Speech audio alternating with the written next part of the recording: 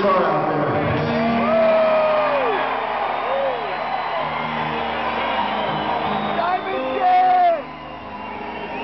I've done a lot of good things in my life. I'm old enough to say that. I've done a lot of things that I kind of regret. I've done a few things that I regret deeply, but I did them all superbly.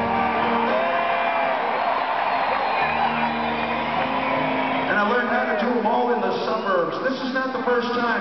This is not the first time I've come to Oakland or anywhere around this area. The first time I came here was 30 years ago, and I know this fucking place like the back of my hand.